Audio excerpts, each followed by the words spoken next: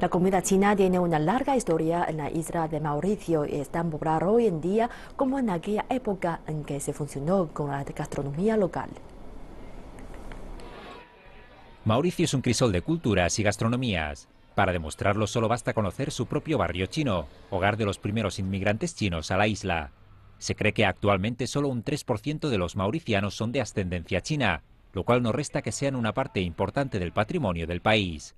La comida principalmente cantonesa y de estilo de la etnia hakka llegó con los comerciantes chinos, quienes inmigraron durante el dominio colonial de Francia e Inglaterra para trabajar en las plantaciones azucareras de la isla y ayudar a echar a andar los negocios minoristas. En los últimos 50 años han abierto muchos restaurantes. Este restaurante salió a la venta hace 22 años y mi padre vio la oportunidad para cambiar su vida y comprarlo. Nuestro cocinero intenta adaptarse al gusto mauriciano para satisfacer a nuestros clientes.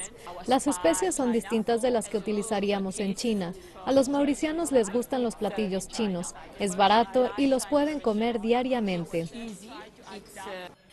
Muchos platillos llevan nombres franco-criollos y se elaboran con productos frescos de la isla. Este es un pollo al vapor con jengibre y el otro es pollo rostizado.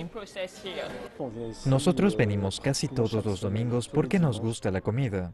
Los padres de mi esposa han vivido en Mauricio durante 15 años y fueron ellos quienes nos mostraron la comida china.